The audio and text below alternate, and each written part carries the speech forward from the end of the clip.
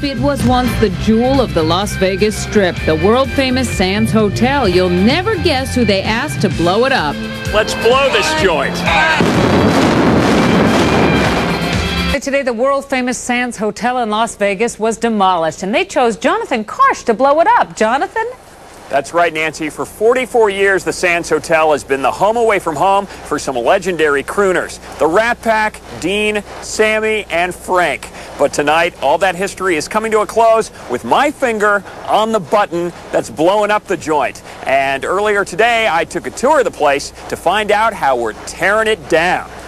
Las Vegas Sands. I asked Stacy Loizeaux of Controlled Demolition to give me a blow-by-blow, if you will, of what's going to happen when the Sands comes down. First explosions are going to start on the ground floor. You're going to see all of these front columns detonate. The same thing is going to happen all the way up the building. This whole front face is going to drop at the same time. It really is the end of an era in Las Vegas. In its heyday, the Sands was home to the legendary Rat Pack. You sure about this guy? I don't know about him. And just hours before the implosion, their playground looks like this. Fly me to the moon. Let me play among the stars. Just give me a minute. Okay, Gilbert? Getting excited? Um, I'm a little nervous, to be honest. So I want to do this right.